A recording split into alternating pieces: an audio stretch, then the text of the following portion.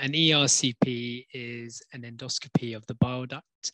Uh, currently, it's always therapeutic, so that means um, going in to either take a stone out or put a stent, which is either plastic or metallic, into the bile duct. Um, we can also access the pancreas as well uh, for stones or strictures as well.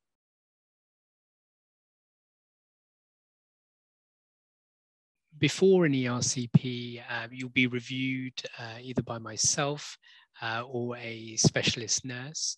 Um, you'll have a pre-assessment to make sure that the procedure is safe. Uh, we will check your blood tests, make sure you're not any on any blood thinning medications.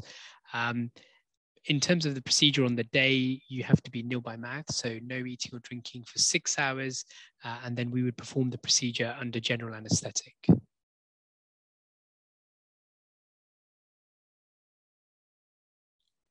So the procedure uh, can vary and depends on whether uh, we're taking out a small stone or taking out a big stone.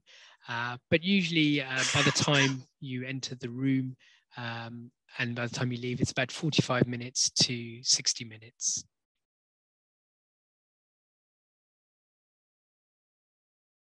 All uh, procedures have uh, benefits and risks.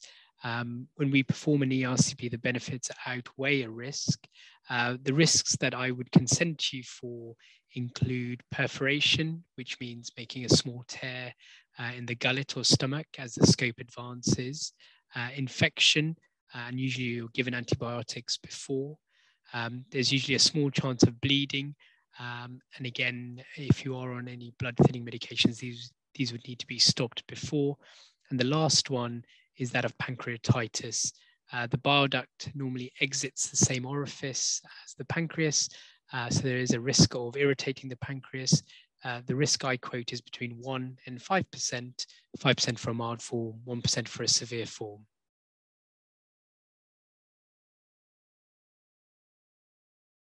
So um, all ERCP that I perform are under general anesthetic.